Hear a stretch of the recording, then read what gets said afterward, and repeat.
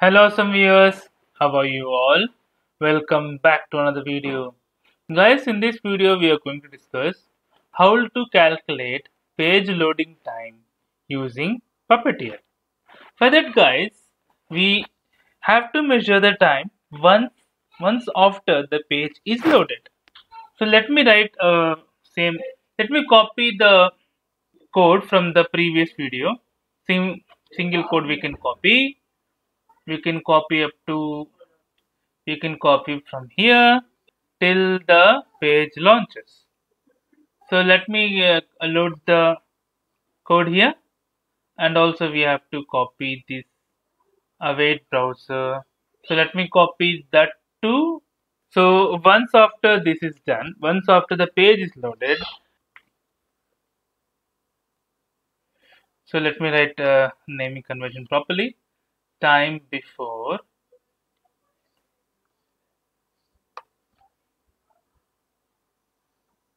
loading the page.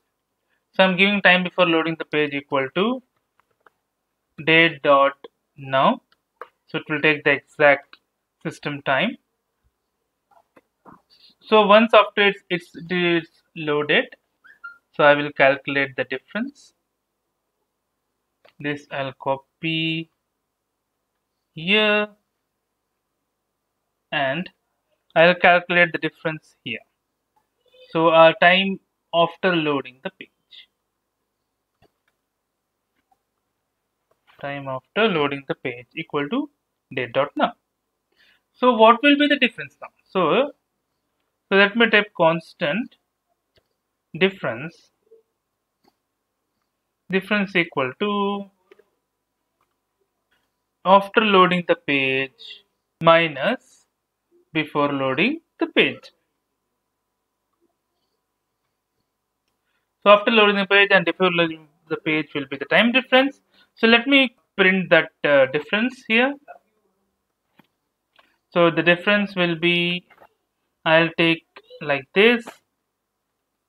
I will I have I will type like this. Time is dollar symbol. I'll write in flower brackets. The difference. The difference and I'll write milliseconds. The time will be difference will be in milliseconds. So now so let me run this. Before that I'll uh, remove the description and write the description properly. So I'll put shift end calculate. So calculate page loading time through puppeteer right? That would be apt. So let me run this. In order to run this it will should be in the package.json calculate page loading time. That it is there. Now let me run with npm test. Let me expand the terminal so now let it run. We'll see the exact time how how much time it took for loading the page. Calculating the uh, page loading time through puppeteer. The browser has now launched. So the time it took is 448 milliseconds. So that's it for the video guys. If you like the video please click on like. If you're a new viewer please click on subscribe. Till then guys take care. Have a great day. Bye bye